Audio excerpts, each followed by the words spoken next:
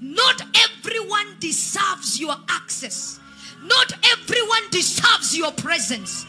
In 2024, access limited. When you are too accessible, you lose value. There are people you need to avoid in 2024. And avoiding some certain people is not weakness, is wisdom. Shut your ears in 2024. Uh-huh. Because no matter what you will do, people will talk. When you dress well, are showing off. When you don't dress good, they will say you are poor. Uh-huh. When you become fat, they will say you are eating too much. Aha. When you lose weight, they will say you are sick. So no matter what you do, they will talk. Come on now. So in 2024, Yes. I need you to shut your ears. Shut your ears. Focus on your goals. Aha. Focus on your dreams. Focus on your vision. And limit your access.